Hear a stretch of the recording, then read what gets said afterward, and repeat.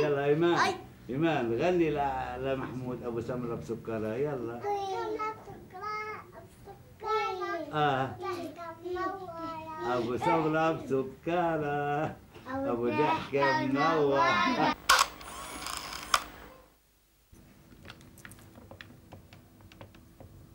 أصلا ما في ما فيش. اسمعوا بالضحكه على التليفون. هلو آه، منزل الأستاذ الفنان محمود أبو غريب. أنا محمود أبو غريب. آه، أنا إخلاص يخلف آه، مقدمة برنامج ألبوم وصور آه، حابين آه، أستاذ محمود نتشرف آه، ونزورك في البيت حتى نتصفح معك آه، ألبوم صورك. يا ستي هذا شرف كبير والله. أهلا وسهلا فيك وفي التلفزيون الاردني بكل أعضائه. شكرا لك الله يخليك. آه، من فضلك بس أخذ العنوان لو سمحت. آه أكتب عندك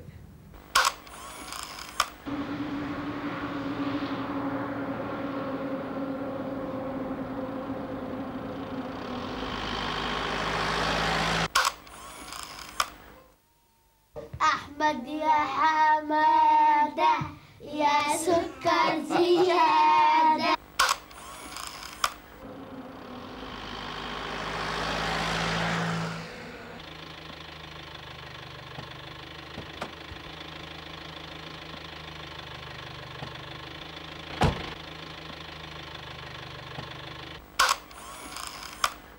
مش عاجبك؟ لا ولا سكر زيادة ولا سكر نقصان. ليش؟ إيه؟ يا امسكي يا البنت. خليكم عاقلين بدي أشوف مين على الباب. بس يا أحمد. بسم الله عليك.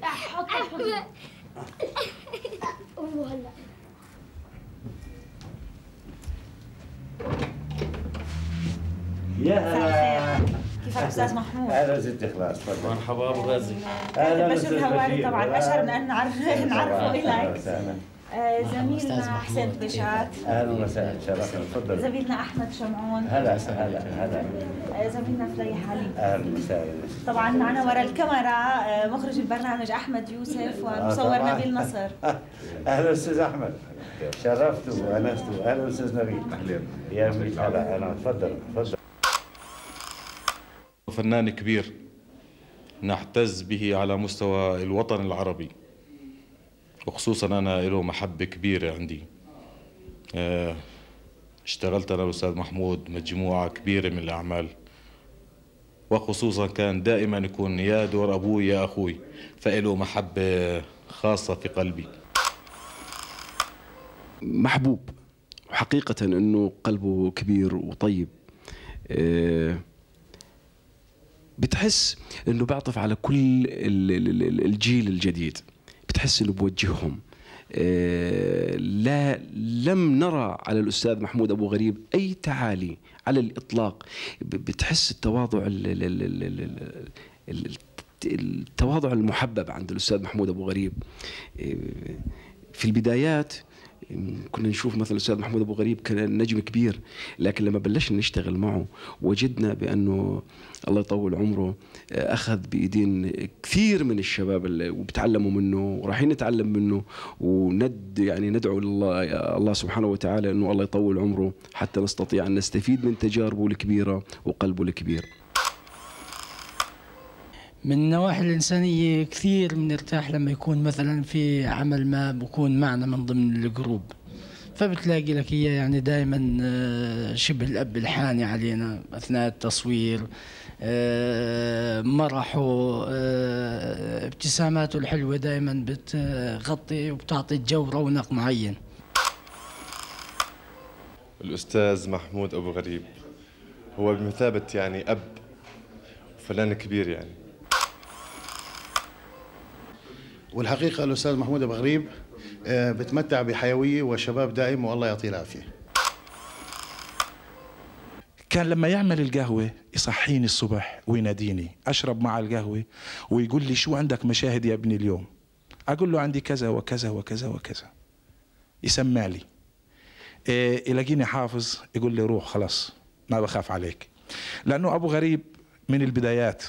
أبو غريب من اللي في البدايات دعمنا. ودعم أمثال إلي كتير كتير.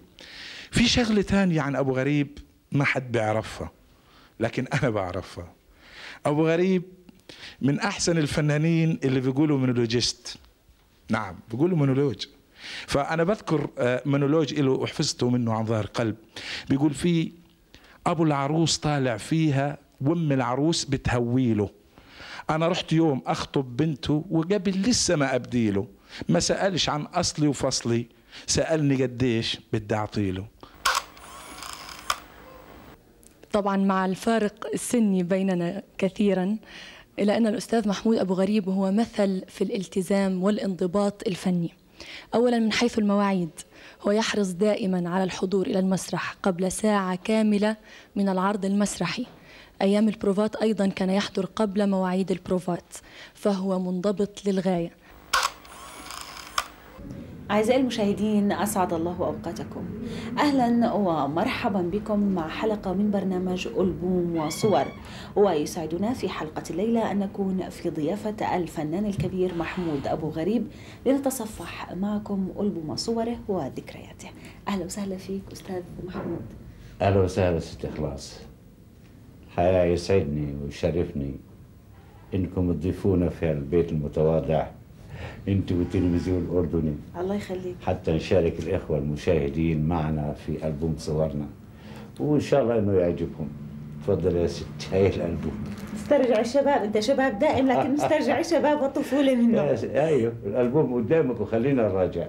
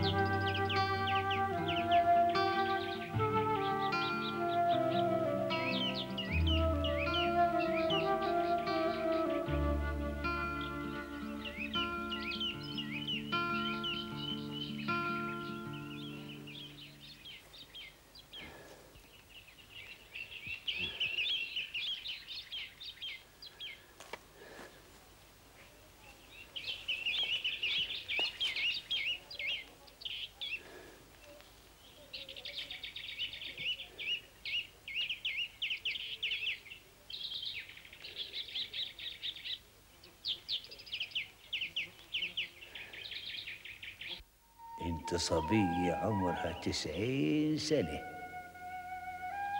وأنا عجوز عمري تسعين سنة. الله يرحمك يابا بكى يكون لي اللي بيزرع ثلاثمية وخمسة وستين تينة بأمن عياله من الجوع.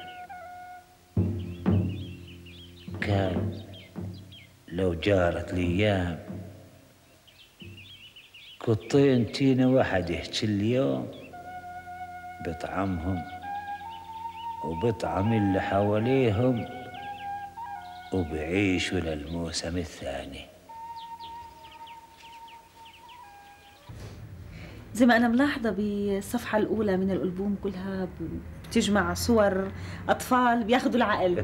آه، يا ترى شو العلاقة اللي بتربط الفنان محمود أبو غريب مع الأطفال؟ ملاحظة إنها علاقة حميمة. يا ستي الصور اللي شايفاهم الأطفال هذول أحفادي.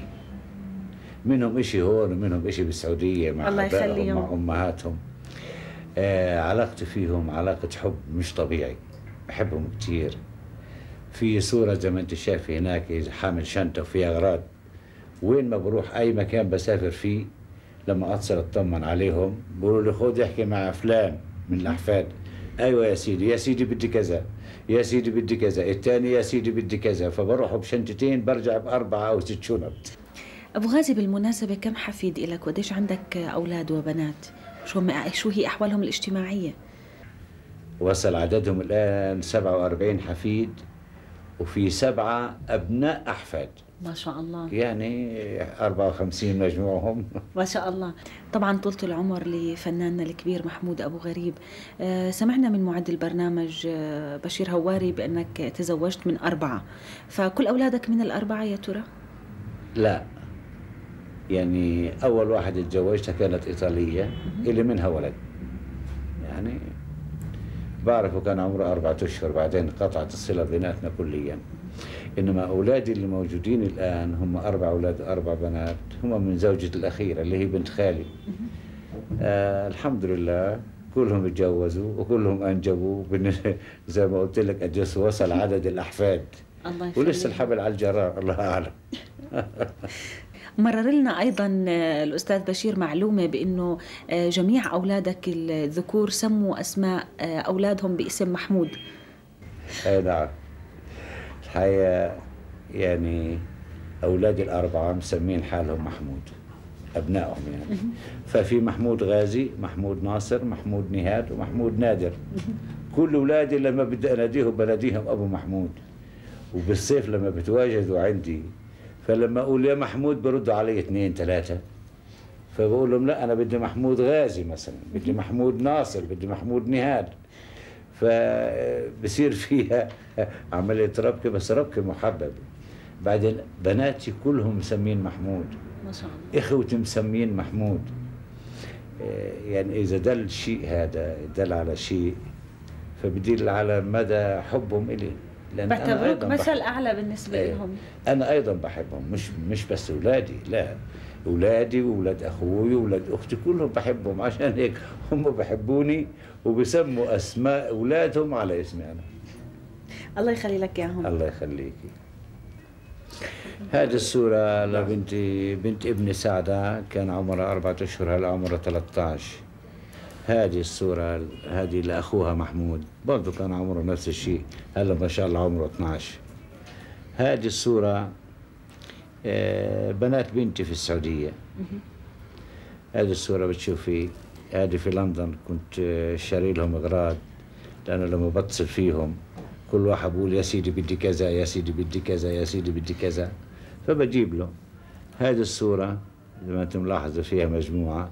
شوف الولد النصاني هذا شايفاه هذا خطبنا له السنة الماضية. آه، في مسلسل عملناه في كازابلانكا الدار البيضاء في المغرب. في بيناتنا الشخص هذا له قصة. إيش قصته؟ هذا هذا أحد تلاميذي. درسته في سادس ابتدائي. وبعد 26 سنة شفته في المغرب. من حد ما شفته عرفته. مع فرق الس- السنين يعني. وناديت عليه باسمه. وقف ولف حاله وأجاني وهو يطلع فيه وهو مش مصدق بقول له الأستاذ محمود مع إنه بعد 26 سنه 26 سنة آه، تغير. أكيد معالمه تغير من إيه طبعا تلميذ من 12 سنة لحوالي آه، 34 أو 35 سنة. 38 سنة إيه. ومع ذلك ما غاب عن ذهني مطلقا. وكانت مفاجأة. الأستاذ أديب نفسه كان يقول لي عمى بعد سنين عرفته؟ قلت له والله عرفته. هذه الصورة أنا والزميل عادل عفانة في أمريكا في نيو جيرسي. أمام الاستوديو الاستوديو يمكن ملاحظ أنه يحمل اسم المدينة العربية. كنتوا بتصوروا مسلسل؟ لا كنا بنعرض مسرحية اسمها البلاد يا عنتر. الحقيقة الناس هناك فوجئوا إنه بيشوفوا مسرحية لها أبعاد ولها أهداف وبتشرح وقائع. كانوا متعودين على حفلات آه، سهرات عائلية وعشاء و... فلما شافونا على المسرح إشي غريب يعني طب إيه. مضمون ال- الرسالة اللي حملتها هاي المسرحية للاشقاء العرب الموجودين في أمريكا؟ إيش الحقيقة كان؟ هي بتحكي عن واقعنا المر خصوصا بعد حرب الخليج. واقع سيء جدا وندعو فيها إلى نسيان الماضي إلى التمسك بالأهداف إلى إلى الوحدة. فهذا كان مضمونها. والناس كانوا مفاجئين إنه إحنا في أمريكا وندعو إلى الشيء هذا كان الإقبال عليها جيد جدا فعلا. هذه صورة مسلسل بدوي عملناه في أبو ظبي اسمه غزوة الليث. آه، يعني صورة أنا والحصان اللي كان آه، بستعمله في المسلسل. يا ترى هل هناك علاقة بتربطك آه، مع الخيل؟ كيف تعاملك معهم كفنان؟ من المفروض إنه آه، تتعامل مع الخيل بكثير من المسلسلات البدوية، فهل هناك علاقة حميمة بتربطك معهم؟ الحقيقة آه، كل إنسان بخاف من ركوب الخيل إلا الإنسان المتدرب. كنا بنعمل مسلسل مرة وكان مضطر إني أركب خيل. ففي مدرب أجنبي جاب حصان وقال لي اسمه كذا. ولازم تناديه ولازم تطعميه سكر وما تخافش منه. يعني أعطاني دروس فعلا استعملتها. فوجدت إنه في آخر الفترة لما تدربت على الحصان وأخذ علي فتح الباب والحصان لما شافني ناديت عليه أجاني بسرعة. لغاية إني خفت منه وهو جاي مسرع. لكن لما وصل عندي وصل هادي وصار يعمل لي براسه هيك يعني هات ناولني سكر. غريبة شوية أظني شافاني منشرح فيها وبرقص. يعني بقلد التحية كاريوكا في زماناتها. الحقيقة تعودنا إحنا بعد ما نخلص المسلسل نعمل احتفال. يعني احتفال إنه أدينا واجب علينا وأدينا مهمة فكانوا هالشباب بيقوموا برقصوا وكل واحد لما برقص بيقيم واحد يرقص. يرقص بداله. فاجى الدور علي واللي قامني هو الفنان داوود جلاجل حطني في مقلب أنا عاده ما بحبش ارقص لكن وجدت حالي إنه لازم أشارك فقمت واديت هالرقصه اللي شايفها. أستاذ طبعا أكيد الإخوة المشاهدين مستغربين إنه الفنان محمود أبو غريب ممكن إنه يقوم ويرقص. لكن آه، اللي بدي أسأله إنه ال- المشاهدين بيشوفوا العمل جاهز على شاشة التلفزيون. إيه. ما عندهم خلفية عن ال- التعب والمعاناة اللي بيعانيها آه. بيعانيها الفنان حتى يصل إلى النتيجة اللي بتظهر على شاشة التلفزيون. آه، فيا ريت من خبرتك الطويلة نعطي فكرة للاخوه المشاهدين عن معاناة الفنان في التصوير. والله إحنا ما بدنا ندوش المشاهد بمشاكلنا لكن بحب أقول لهم إنه هالمسلسل اللي بيشوفوه ناعم أمامهم هادي بيفتكروا إنه إحنا قدمناه بهالطريقة هاي لكن لما يعرفوا إنه في بعض المشاهد تعاد عشر مرات وأحيانا 17 مرة بيشوفوا العناء اللي إحنا بنقيسه يعني بنكون أحيانا عرقنا بدلف بيكون أعصابنا توترت. الواحد نفسه فنجان قهوة مش قادر يحصل عليه. فكل الأشياء هذه ما بيشوفها المشاهد.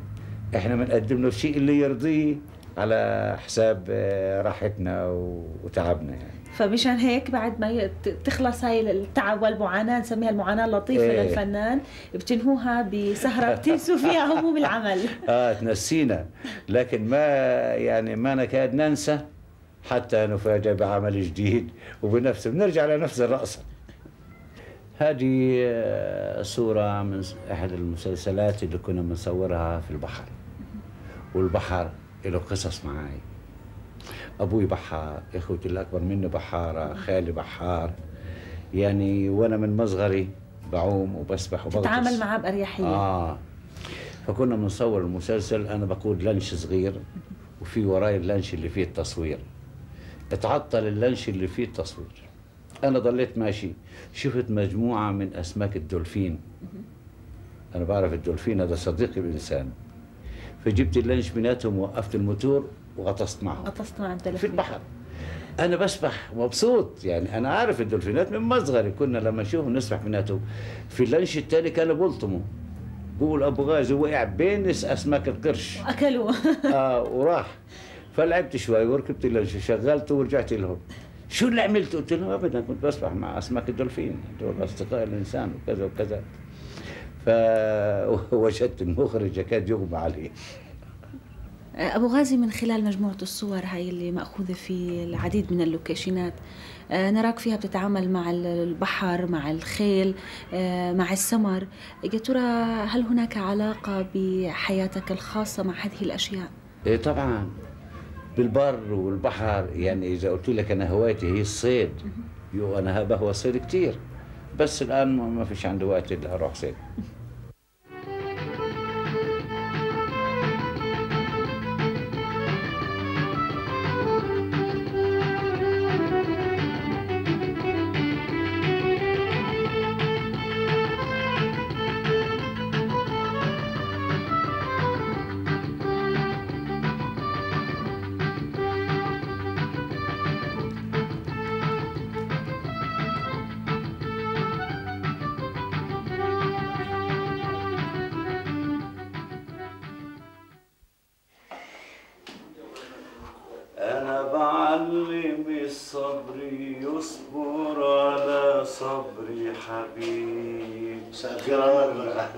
كيف حالك؟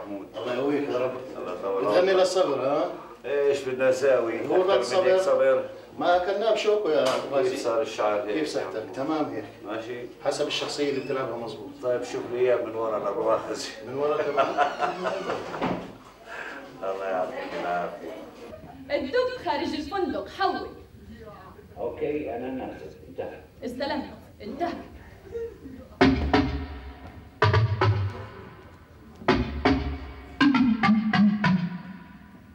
وصلت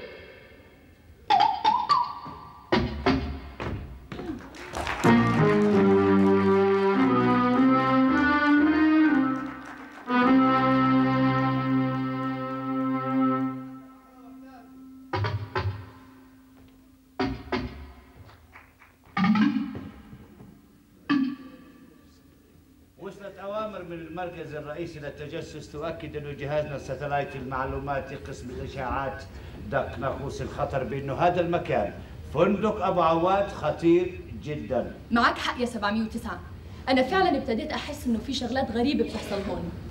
إحنا شاكين إنه الشعب هم متعلم ومتطور زيادة عن اللزوم وربط تعليمه بمواقف خطيرة. وصار الواحد قادر على صنع مواد خطيرة على الإنسانية كلها. لهالدرجة؟ يا. طيب شو المطلوب منا إذا يا 709 المطلوب كشف البلاوي اللي ممكن يخبوها بفنادقهم ومطاعمهم. مثلا في معلومة تؤكد إنهم صنعوا كريات بيضاء من اللبن المجمد. قصدك الجميل. جميد حميد سديد مش مهم. احتمال كبير يكون أخفوا فيها فيروس خطير قادر على الدمار الشامل لأنسجة وخلايا المخ. شو بتقول؟ فيروس بالجميل؟ يا يا. ومعرفة مين اللي بيدير العمليات هاي؟ المعتقد إنه الدبور أبو عواد والدب أبو الخلجوز بنته والنسناس أبو مهاوش أخوه الممول الرئيسي لكل هالعمليات مين بالله؟ أبو مهاوش؟ يا أبو مهاوش هذا بالذات بتهيألي إنه مخه مفضي تماما صفر صفر 19 من أول ما بدأ تجسس إنك ما تستهيني بالأشكال معك حق okay المهم شو أهدافنا الآن وبالتحديد؟ أهدافنا ما يلي تفتيش تفحيص تمحيص كل ما له علاقة بالمواد المصنعة محليا مراقبة كل كلمة وتحليلها وتسجيلها كشف علاقة الدبور أبو عواد بكل زباين الفندق اللي بيتصل فيهم في ناس محددين؟ آه no no no no no بمناسبة الحديث عن المسرح طبعا الجمهور الأردني ومحبي الفنان محمود أبو غريب لاحظوا عودة ميمونة إلى خشبة المسرح بعد انقطاع طويل. وأيضا في الأردن بالذات اللي هي بمسرحية طعة وقايمة اللي لاحظنا قبل شوي منها آه، وشفنا مشاهد. آه، يا ترى العودة إلى المسرح كيف تراها الآن؟ الحقيقة العودة إلى المسرح مش عملية سهلة. بعد انقطاع زي ما قالوا 16 سنة. أنا ما انقطعت 16 سنة. كنت بعرض آه، في الخارج يعني عرضت في الكويت مسرحيتين عرضت في أمريكا مسرحية. حتى اتصل فيه الأخ نبيل مشينا وعرض علي الاشتراك في مسرحية طه وقايمة تأليف هشام يأنس لكن غسان مشيني أدخل عليها فأصبح التأليف مشترك بين الاثنين حتى وصلت إلى المرحلة اللي وصلت فيها الآن. الحقيقة الأستاذ محمود أبو غريب أذكره في بداياته المسرحية. جاء من بدايته ووقف على خشبة المسرح فنانا كبيرا مع أنه بدأ بأدوار صغيرة ولكن الدور الصغير لا يعني بأن هناك فنانا صغيرا. محمود أبو غريب بدأ معي في مسرحية أفول القمر عام 1968 وقلت بأن هذا الفنان سيكون له شأن وبصمات واضحة في الحركة الفنية الأردنية. وفعلا ما خاب ظني في هذا الإنسان الخلوق الفنان المثقف الدمث في خلقه. واستمر حتى ظهر المسلسل التلفزيوني وانتشر عربيا. وكان للأستاذ محمود أبو غريب شأن كبير من خلال المسلسلات البدوية في السبعينات وقد استطاع أن يلفت الأنظار إليه من خلال أدواره كشيخ في هذه المسلسلات البدوية. محمود أبو غريب صديق عمر وهو ترك في نفسي انطباعا كبيرا وجيدا وأعتقد بل أؤكد بأنني الذي سميته شيخ الفنانين الأردنيين. سميته شيخا للفن الأردني لفنه وخلقه. الأستاذ محمود أبو غريب ملتزم جاد دخل مهنة الفن وهو مؤمن بها ايمانا كاملا واستطاع أن يمارسها واستطاع أن يكون قدوة للفنانين الآخرين. أنا سعيد الآن وفي هذه الفترة بأنني استطعت أن أجذب محمود أبو غريب إلى خشبة المسرح وهو الآن معي في مسرحية طاعة وقايمه نسير معا بعد هذه المسيرة الطويلة أو المشوار الطويل وأجده ربنا يطول عمره بصحة جيدة عندما يؤدي عمله. بصحة قوية يقف على المسرح كشاب مع أنه تجاوز العقد السادس من عمره. يقف كشاب صغير متحمس. محمود أبو غريب أتمنى بأن يكون كل فنان يتصرف كما يتصرف محمود أبو غريب. لا أستطيع أن أقول أكثر من ذلك ولكن بالنهاية أقول محمود أبو غريب قدوة لنا جميعا في مسيرتنا الفنية. أنا سعيد جدا إني عدت للمسرح مسرح حياة الفنان يعني الفنان لا يعتبر فنان إلا إذا قدم على خشبة المسرح عدد كبير من المسرحيات. خلال عملي في المسرح الأردني قدمت 32 مسرحية. أي نعم. منها هالمسرحية هذه اللي شايفها قدامك. عرضت عام كام هاي المسرحية؟ هذه آه، يمكن في 75 74 إيه اسمها إيش كانت تحمل الاسم؟ اسمها مذكرة من جبل النار هي تأليف الأستاذ محمود الزيودي وإخراج الأستاذ أحمد شقم كبروا الصغار يا جبل النصار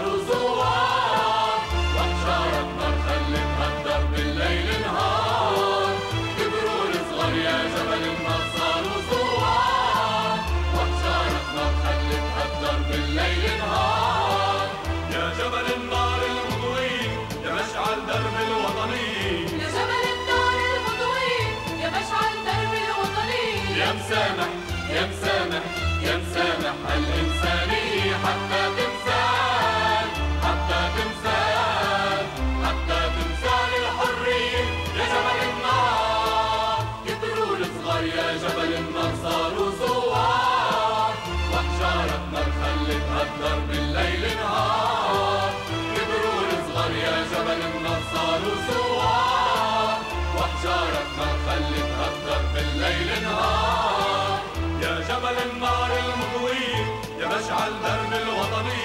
يا جبل النار المضوي يا مشعل درب الوطني. يا مسامح يا مسامح يا مسامح الإنسانية حتى تمثال حتى تمثال حتى تمثال الحرية يا جبل النار. ما زلنا بالمسرح أبو غازي وهي على ما يبدو صور قديمة منه. امم الصورة زي ما انت شايفة لو بدنا نلاحظ علي عبد العزيز كان أيام شبابه محمد العبادي كان أيام شبابه محمد بدر نص وجهه مبين. أنا يعني ماخذ التايب آه، يعني قبل آه، يمكن 18 سنة كمان. يعني كفنان محمود أبو غريب آه، أستاذ كبير آه، من خلال تجربتي معه في العمل من الناس الملتزمين جدا آه، عمري ما أجيت على موعد التصوير إلا ألاقي محمود أبو غريب قدامي. آه، عمري ما دخلت مسلسل آه، وكان مشارك فيه أبو غازي وأنا إلا ألاقي محمود أبو غريب محضر لشغله. ومهتم في آه، كافة أدواته الفنية. حريص صادق مخلص آه، جوانب كبيرة يتحلى فيها أبو غريب آه، كفنان وكأستاذ حقيقة.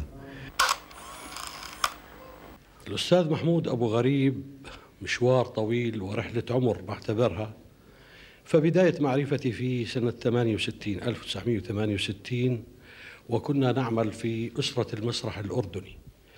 فالتقينا في المسرح قبل التلفزيون وبدأنا مشوارنا في المسرح وشاركنا في كثير من المسرحيات إلى أن بدأت رحلتنا في التلفزيون الأردني. الأستاذ محمود أبو غريب بعتبره رفيق درب ورفيق عمر صديق عمر. لأنه أغلب رحلاتنا ومشاويرنا كانت دائما مع بعض. فهذا المشوار الطويل هو تاريخ والحقيقة أنه الوقت الكافي الوقت الغير كافي هذا اللي بنتحدث فيه بعتبره لا يفي بالحاجة أو بالغرض المقصود ولكن أستطيع ما أمكن أن أعطيه حقه.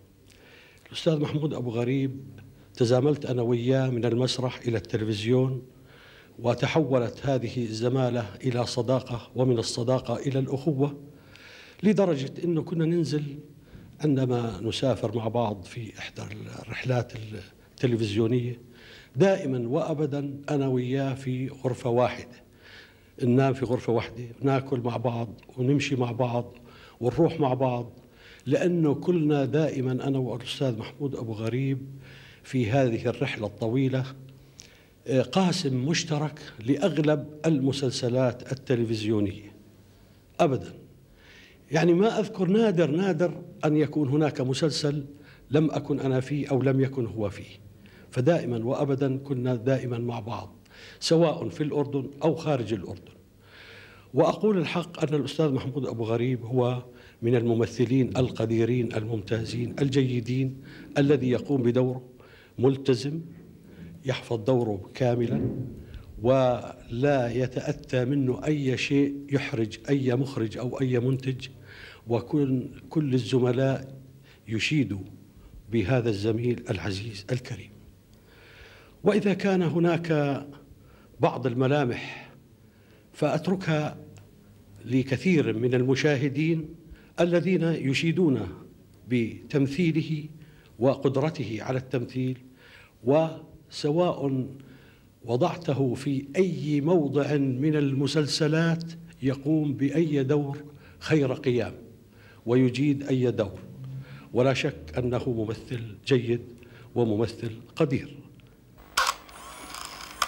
هذه برضو مجموعة من الصور اللي عندي مثلا هذه الصورة هذه في شيكاغو في أمريكا.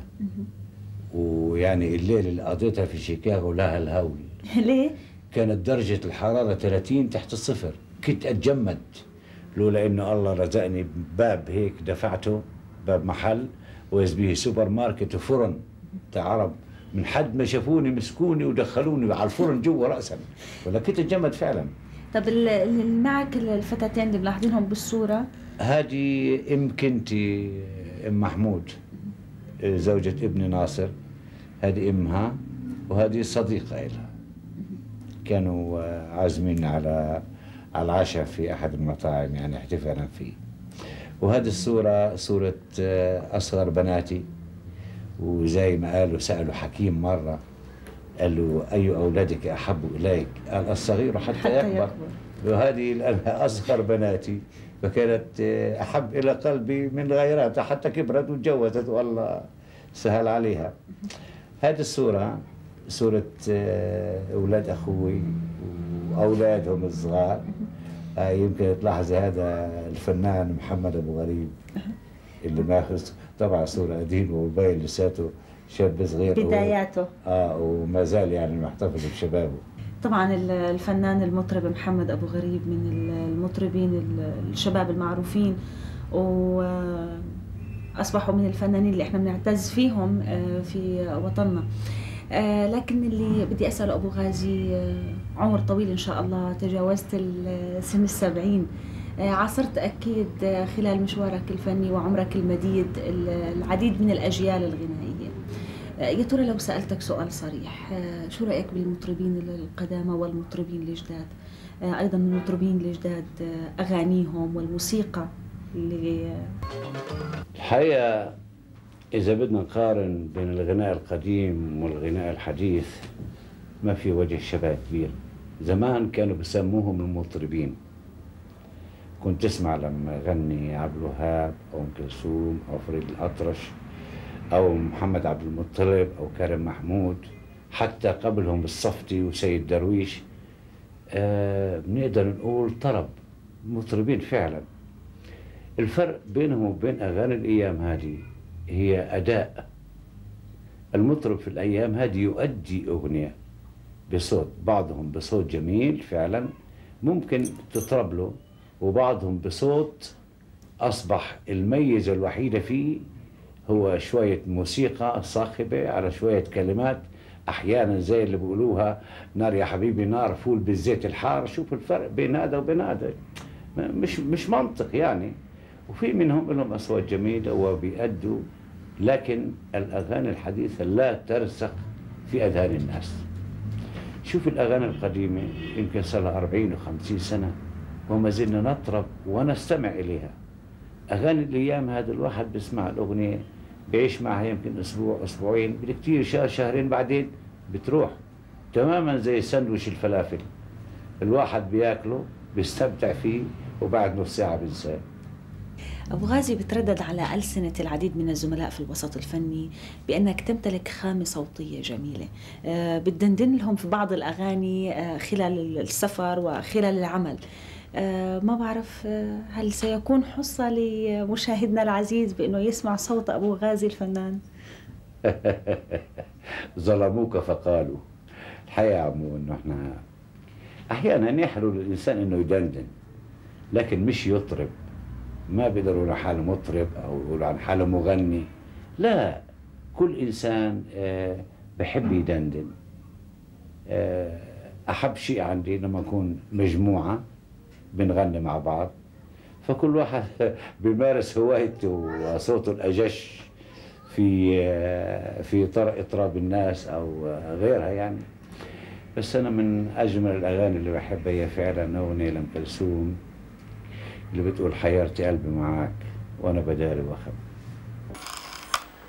ورأيي بما قالوا بالنسبة للأغنية الشبابية أنا طبعا بشجع رأيه للأستاذ محمود أبو غريب عمي وحبيب قلبي. آه، كونه آه، تقريبا آه، انعدمت آه، ال ال ال الكلمة واللحن في في العصر اللي إحنا فيه.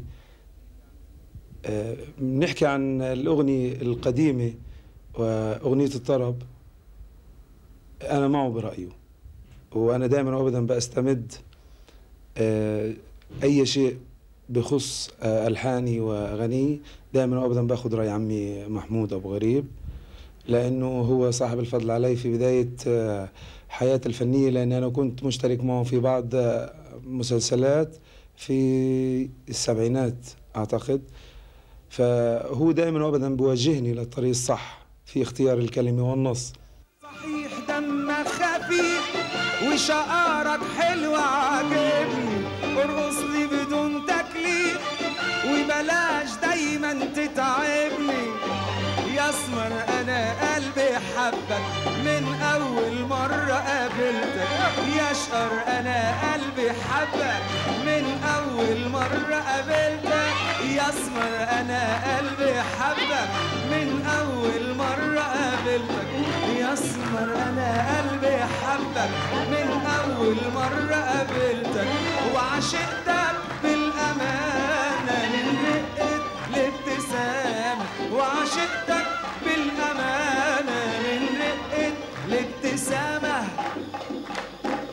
اشقر يا جميل يا ابو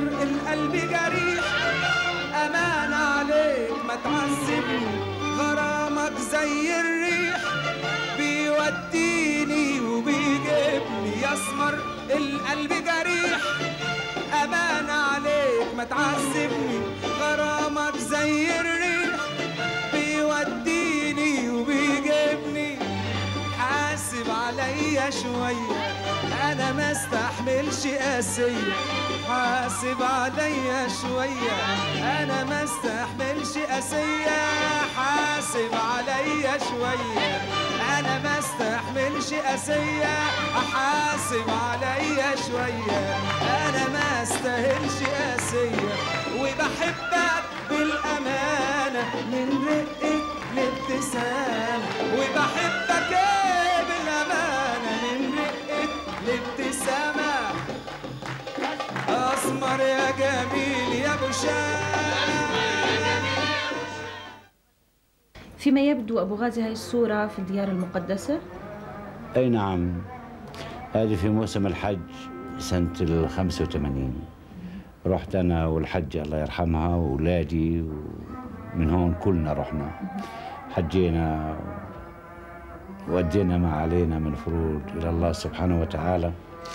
الحقيقة الحج متعة وهذه مش أول مرة هذه ثالث مرة أنا بحج فيها.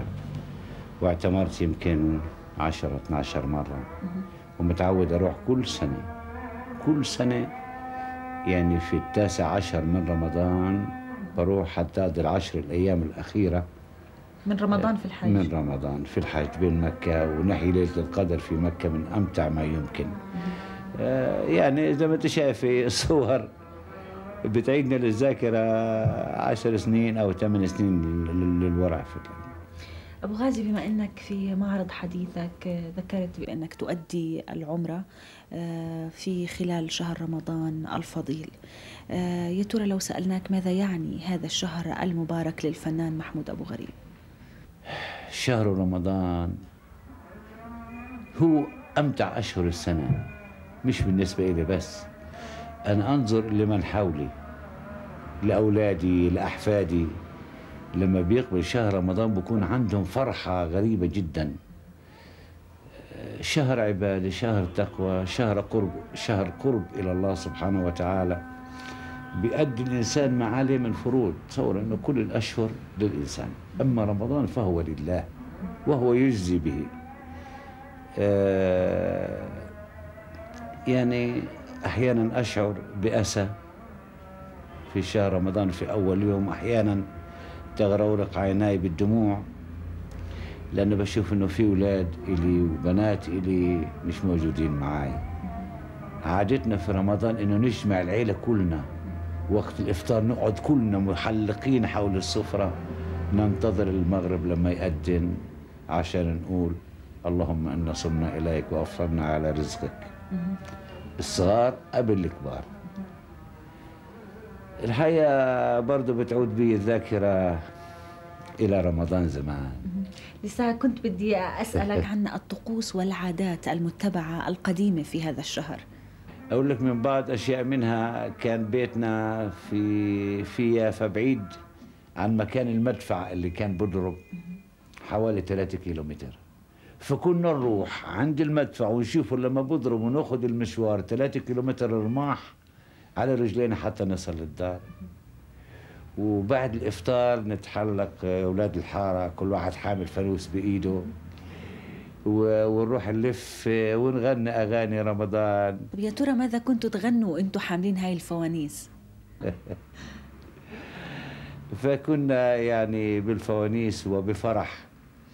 نقول آه نيجي على باب دار ونوقف ونقول لو ما أهل الدار ما جينا يردوا تاني يقولوا يا حالي ولا تعبنا ولا شقينا يا حالي ولا تردونا عشم عش يعني عشمانين.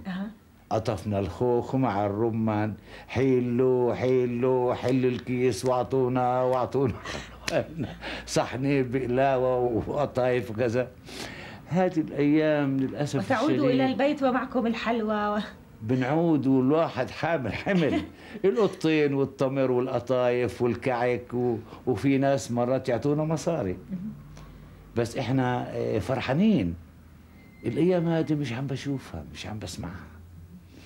في رمضان كنا نطلع مثلا نزور بعد.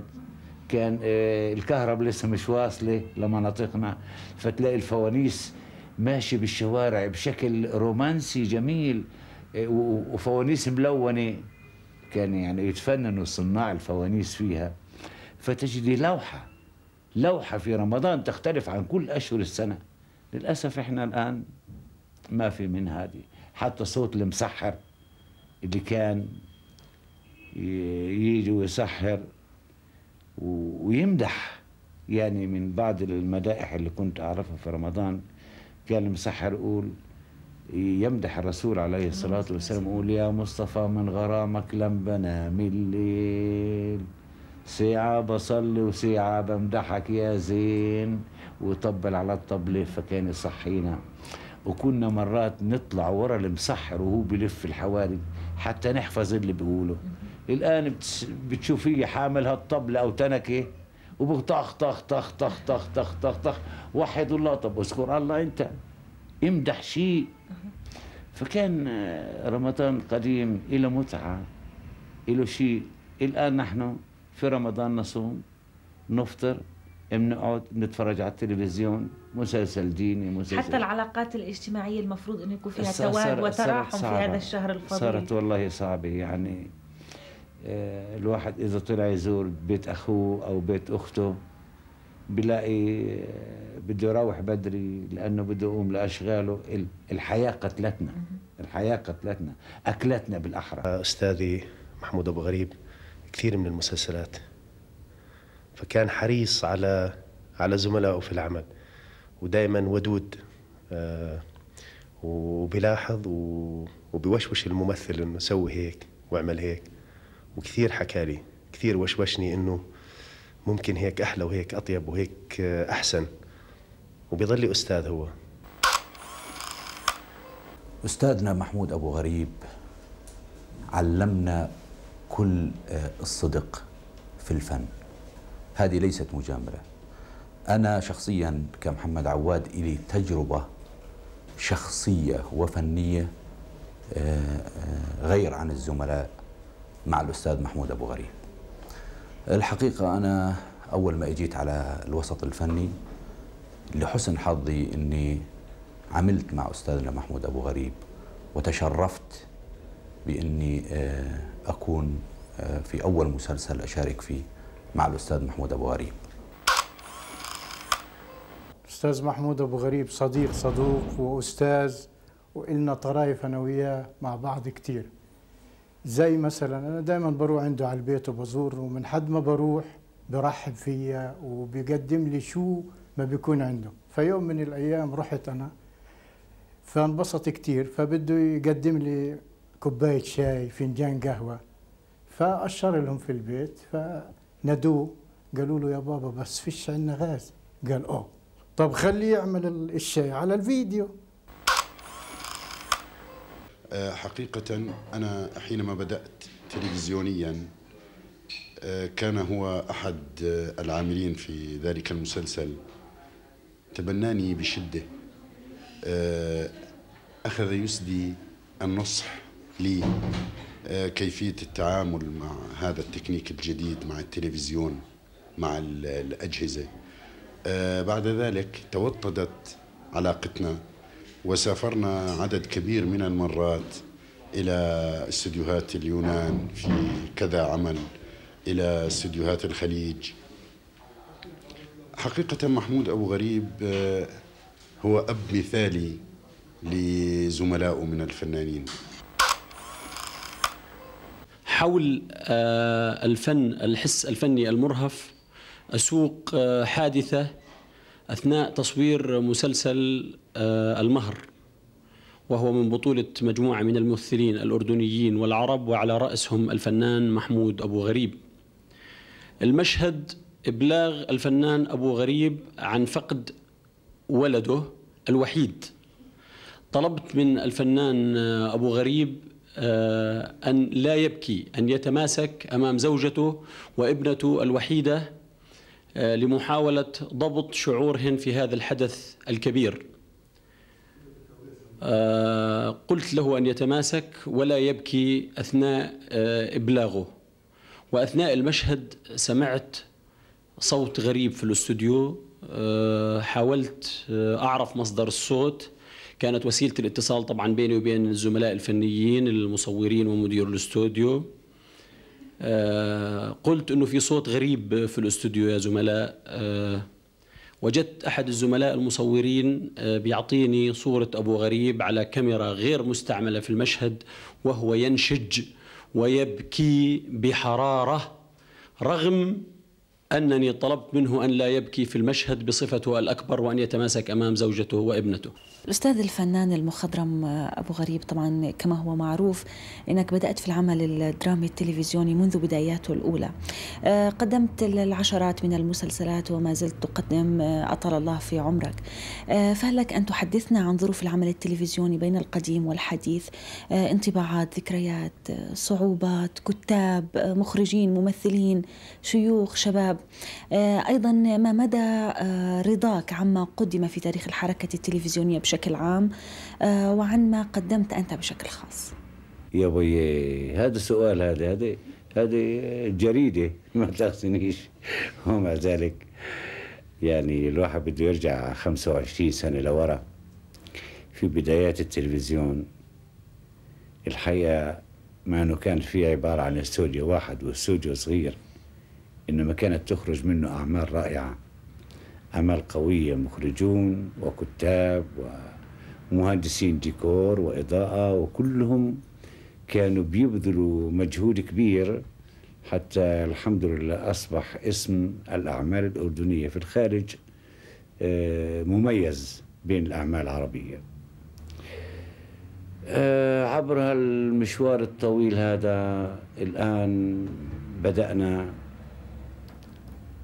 يعني نتراجع شوي لأنه كثرت أو بالأحرى كثرت شركات الإنتاج وأصبح في تنافس.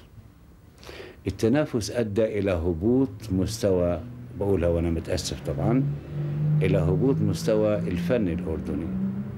فكان ال- العمل قديما كان يكون مدروس كتير آه، مخطط له كتير. الآن صارت العملية عملية آه، بس يلا لحقني ونخلص علشان نقدر نستفيد تجاريا ونبيع و... ونحوش فلوس أو نحوش مصاري زي ما بيقولوا. لكن هذا لا يمنع أن نقول إنه في بعض المنتجين ما زالوا يبحثون عن الأفضل وهدول تجدهم قلة للأسف الشديد والكثرة منهم آه، اخذوا الخط التجاري حتى إنه أصبح في العالم العربي اللي زرناه يتحدثون إنه ليش مستوى الفنان الأردني أو الأعمال الأردنية يتراجع شوي. وهذا السبب اللي بخليني أنا كمان أتساءل. ليش إحنا بنرجع لورا؟ ليش؟ لأنه التجارة؟ لا. المفروض التجارة عشان تكون رابحة تكون جيدة. نقدم أعمال جيدة وبالتالي يزيد الإقبال عليها ويصير عندنا دخل جيد من الإنتاج.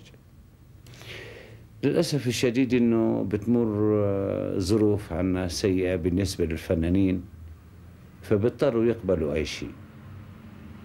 أنا كتير عرضوا علي مسلسلات ورفضتها. الموضوع ما كان يشدني. وما كنتش ألاقي نفسي في الدور اللي هو مرسوم لي أو مكتوب لي فكنت أعتذر عنه. وفي رأيي أنه كل فنان يجب أن يقوم بنفس العمل ما يقبل أي دور. اللي بناه في سنين عديدة يجب أن لا يهدمه من أجل مبلغ زهيد من المال بيأثر على مستقبله كفنان. آه، أبو غازي هل لك أن تعلق بانطباع سريع حول ما يلي آه، المسلسل البدوي الأردني؟ المسلسل البدوي الأردني الحقيقة هو جزء من تراثنا وفي عاداتنا وتقاليدنا أعرافنا آه، المسلسل الريفي الأردني. يعالج مشاكل الأرض والتمسك فيها. لو سألنا أيضا عن ال- المسلسل المدني الأردني. آه الحقيقة في عنا مشاكل في مجتمعنا أو في المدن عنا تحتاج إلى معالجة. وهذا ما نقدمه من خلال مسلسلاتنا اللي بنسميها الحضرية. المسلسل التاريخي؟ التاريخي بالنسبة لي والله من أصعب الأعمال لأن بدها جهد كبير وبدك تبرز شخصيات تاريخية ما تسيء إلها من خلال الدور اللي بتأديه. أيضا المسلسل الذي يحكي نضالات الشعب العربي. هذه هذه أهم المسلسلات. اللي يجب أن نعالجها ونعالج مواضيعها ونتمسك بها ونبرزها ونعرضها مش إلنا بس للعالم أجمع طب بصراحة لو سألناك أبو غازي أيهما تفضل في العمل فيه أكثر من الآخر؟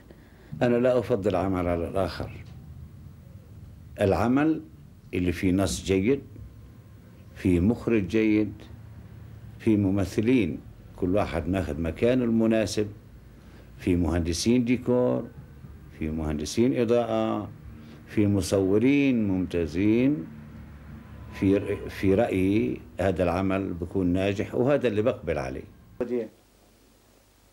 شوف عاد عشان نضلنا أصحاب خذ هدول النومي شكرا عمو. لا عمو ها لا تخليني أزعل منك. أنا حبيتك كثير وعشان أضلني أحبك لازم تأخذهم. رشدي؟ ها. وين موديع؟ يمكن في المطبخ. شد حيلك يا وديع ها؟ بدي إياك تكون من الأوائل في المدرسة. إن شاء الله. وين الثور يا سيد؟ ولا ضيعته؟ ولا ضيعته يا سيد؟ وين تشفيه يا سيد؟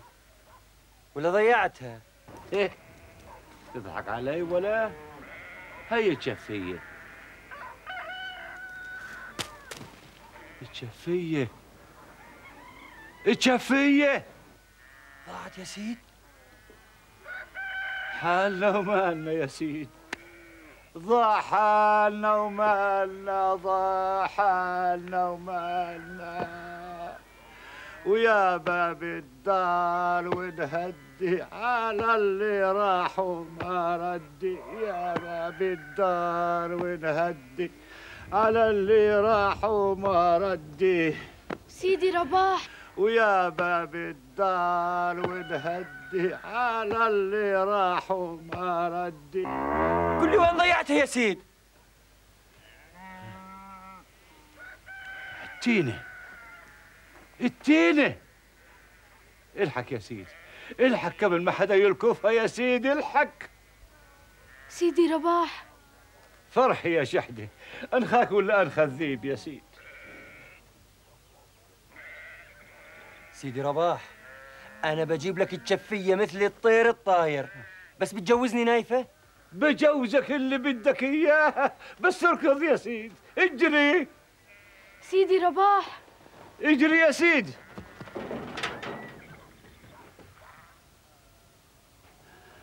حالنا ومالنا ضاع حالنا ومالنا كل شي بالجفية سيدي رباح. آه، سيدي رباح آه، عندما كتبت آه، هذا الفيلم التلفزيوني كان في ذهني عدد من الشخصيات التي تمثل شخصية موجودة تراثية في الشعب الفلسطيني. لها امتدادها التاريخي ولها امتدادها المستقبلي. وعندما وقع الاختيار على ال- الأستاذ محمود أبو غريب ليؤدي هذه الشخصية آه، آه، كان له أيضا نفس وجهة النظر آه، فقد كان يعرف وعايش شخصية سيدي رباح من خلال أشخاص واقعيين عديدين وقد فوجئت عندما اجتمعنا أول مرة في آه، آه، في التدريبات. آه، أنه هو الذي يحدثني عن شخصية سيدي رباح. وشعرت حينها كم أثرى معلوماتي. كونه عايش مرحلة زمنية أنا لم أعايشها وإنما سمعت عنها. شو في عندك أخبار؟ الأخبار عند عبد الفتاح. إيه أنا أنا طول وقتي في المصبنة من أين تأتيني الأخبار؟ كيف من أين تأتيك الأخبار؟ والفلاحون الذين يأتون إلى المصبنة كل يوم. آخ يا شيخ رجب. والله بالنسبة للفلاحين أحوالهم صعبة. أكيد. أكيد هذا الكلام. والوعود التي قطعوها من أجل تحسين أحوال الفلاحين والوجهاء الذين لا يفارقون مقر الحاكم. حكي. كله حكي. لماذا؟ لأنهم قرروا أن لا تستمري في دراستك الجامعية أهذا كلام معقول؟ هكذا قرروا. وأنت يا ماري. ما رأيك؟ هل توافقي؟ افترض أنني لا أوافق ماذا أستطيع أن أفعل؟ ماري هذه حياتك وأنت مسؤولة عنها ماري هذا قرار خاطئ يجب أن ترفضي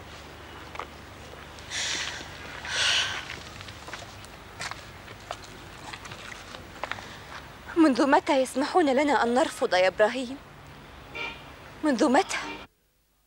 آه، تجاربي آه، مع الأستاذ محمود كثيرة ولكن أمتع هذه التجارب كانت ومن أوائل هذه التجارب كانت في مسلسل آه، إبراهيم طقان وقد كان هذا المسلسل بالنسبة لي أول فرصة حقيقية في التلفزيون بأن أكون بطل آه، لمسلسل يحمل آه، اسم إبراهيم طقان والأستاذ محمود آه، كان خير عون إلي ساعدني جدا وأفادني بخبرته بشكل عميق وكبير. أهم ما يميز الأستاذ محمود خارج التصوير أنه إنسان رائع وأب جميل وحنون وصياد بارع أيضاً.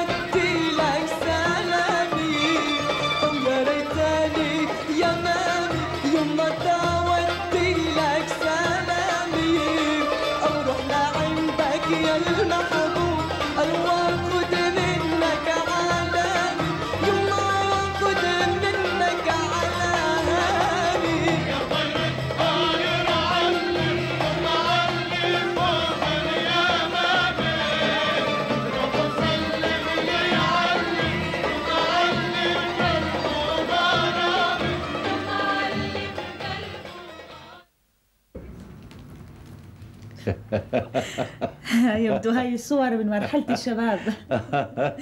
هذه يا ستي بتعود بالذاكرة ل 40 يمكن 42 سنة. هاي سنة الخمسين فاكرها بالضبط. الهيئة التدريسية اللي كنا بندرس مع بعض جميعهم. black and white يعني آه. ما كانش في ملون أيامها.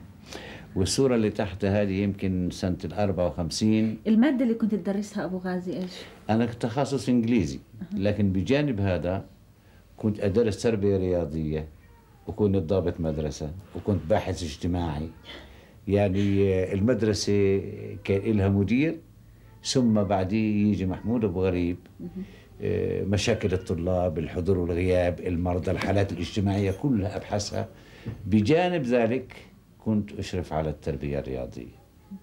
طيب أبو غازي قبل ما ننتقل آه. للصورة اللي بعدها بحضرني الآن سؤال هو آه، نظرة ال- الطلاب لل- للأستاذ قديما وحديثا أذكر أنه آه، في القديم وأيضا بسمع آه، الكبار في السن بيحكوا إنه كنا إحنا نخاف نمر من ال- ال- الشارع الشارع اللي- كان الأستاذ يمر منه أي مش. خوف فقط ولكن احترام, احترام. وهيبة له احترام. الآن مع العصر الديمقراطي. والنهج الديمقراطي أصبح يناقش ال- ال- الطالب التلميذ بشكل صريح جدا آه زمان أنا أذكرها كويس حتى أيام ما كنت تلميذ كنت لما أشوف المدرس جاي من رأس الشارع أختفي. أد يعني أدور وين بدي أتخبى. حتى عندما صرت أنا مدرس كنت لما أمر بالشارع ألاحظ الطلاب من بعيد وهم بيختفوا في الشوارع. كنت لما أدخل على المدرسة لأني ضابط مدرسة ومسؤول عن النظام فيها كنت يكفي إن إني أقف على المنصة وبعد لحظات ما بتسمع واحد في المدرسة بيحكي. مش خوف. لا لا احترام. إحنا ما كنا إرهابيين ما كناش نرهب الطلاب. اللي بيستاهل عقاب كنا بنعاقبه مش انتقاما منه بل لتقويمه. الآن آه، يعني اللي عم بشوفه شيء مختلف كتير عما كنا إحنا فيه.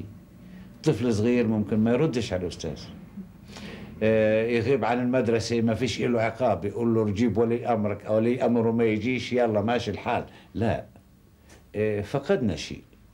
نحن نقول إنه حرية الطالب آه، يعني مساعدة الطالب تهذيب الطالب. نعم. لكن أيضا لازم يكون في شيء اسمه قانون. لازم يكون يشد حزم على. الطالب. لازم يكون في حزم. الطالب الطالب المعوج بده تقويم كل شيء أعوج لازم يقوم. واللي لا يقوم باللين يقوم بال... بالشاكوش. يعني حديدة عوجة ما بقدر أتنيها أنا بإيدي بضربها بالشاكوش. شوي شوي. نحن لا نضرب الطالب يعني كنا زماننا لا نضرب الطالب إيه، انتقام منه. لا بالعكس لتقويمه. حتى مش لتقويمه من ناحية دراسة لا. واجبنا إنه ندرسه ونوصل المعلومات له بطريقة سلسة ولطيفة. لكن إهماله إهماله بواجباته اعتداءه على الطلبة غيره اعتداءه على أهله اعتداءه على الناس. هذا لازم لأنه لابد- الهدف هو التربية ثم التعليم. التربية. ليش بقول لك وزارة التربية والتعليم؟ والرسول حض على هيك. قال داعبوهم سبعا وربوهم سبعا وأدبوهم سبعا. التربية. ال- الصورة اللي أمامنا هون هاي أعتقد فيها شيء يتعلق بالرياضة نوعا ما؟ يا ستي هذه صورتي وأنا بنظم مهرجان رياضي كان يقام كل سنة للمدارس الابتدائية والإعدادية والثانوية. كل سنة لازم يقام مهرجان رياضي وألعاب قوى لجميع الفئات. مش عارف ليش انقرضت العملية هذه مع إنه جميلة جدا حلوة. آه، يمكن كان من كم سنة بنت ابني قالوا بدها تروح علشان تعمل آه، تشترك في مهرجان رياضي. كنت مبسوط. كنت سعيد جدا. وقلت له شو بدك لبس؟ أنا مستعد شو بدك مصروف؟ شو بدك أكل؟ لأنه هذه كانت أنا في في موجودة. وكنت أفر في كل المدارس. أحيانا أنا كنت أوضع تمارين. وأوضعها مع الموسيقى لأن أنا دارس موسيقى نحاسية. أختار مقطوعة موسيقية فيها إيقاع تمارين وأنظم التمارين على هو الموسيقى. فلما تيجي الفرق الموسيقية بدها تعمل آه، بروفات مع الطلاب. يكونوا أو لا. أعطيني لا أو لا أعطيني المعزوفه كذا. يقول لي انت أقول له معلش أنا مركب التمارين على المعزوفه فيعزفها. كنت أنا أغنيها للأولاد آه، هم آه، يلعبوا الحركات. فمجرد ما كانت الفرقة الموسيقية تعزف الأولاد يتحركوا. فبقول أنت سهلت علينا المهمة. فهذه الصورة بتذكرنا فيها. والصورة اللي والصورة الأخيرة؟ يا ستي كنا أيضا في كل سنة في العطلة المدرسية هذول كلهم مدرسين التربية الرياضية زي ما تشابه أكثر من ستين واحد.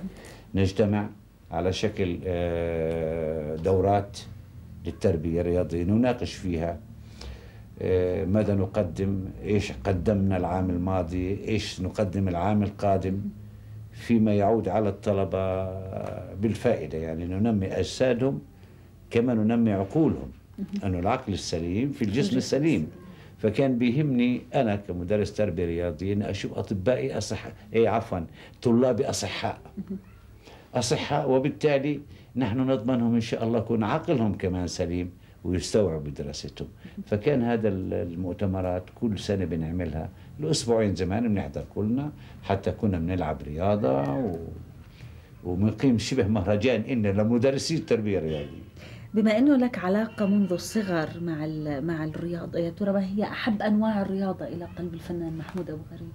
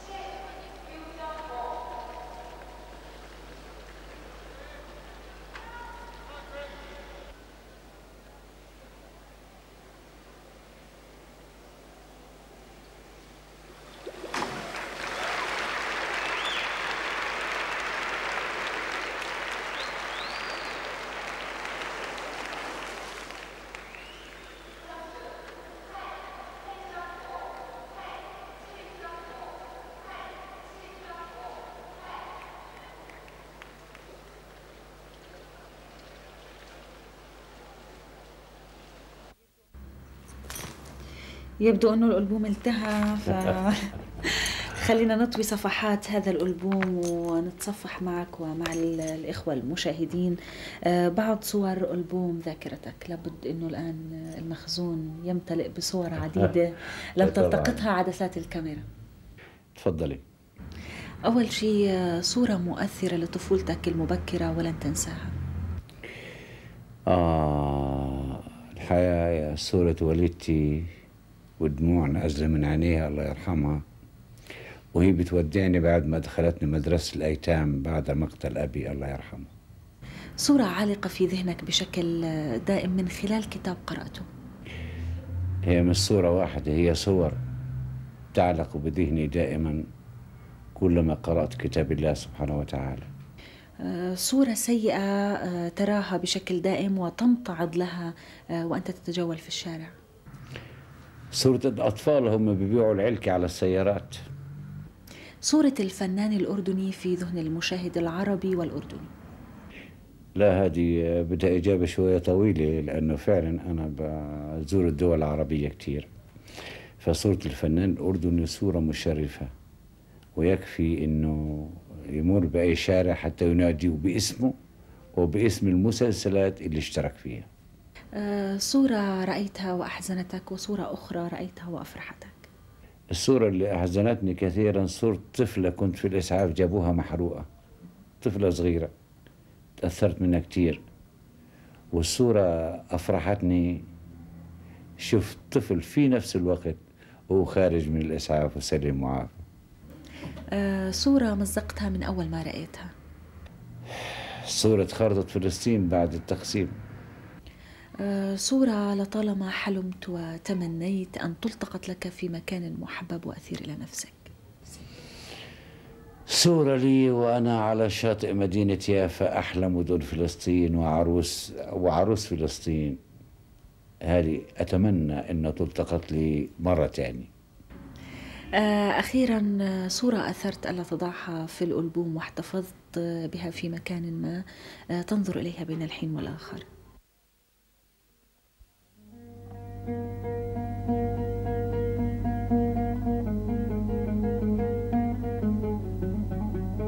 تفضلي.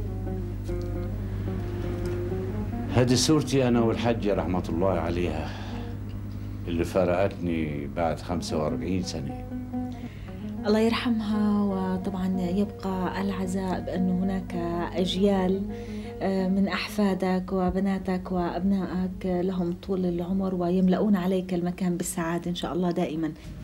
آه، أبو غازي في نهاية آه، حديثنا كفريق عمل تلفزيوني حابين نأخذ صورة تذكارية معك. يا ميت أهلا وسهلا. تفضلوا. يسعدكم الأرض نحطكم على رأسنا. تفضلوا. الله يخليك. تفضلوا شباب. تفضلوا. يا ميت أهلا وسهلا. حياكم الله. أهلا أبو غازي. أهلين أستاذ أحمد. الله ما أحلى هالجمعة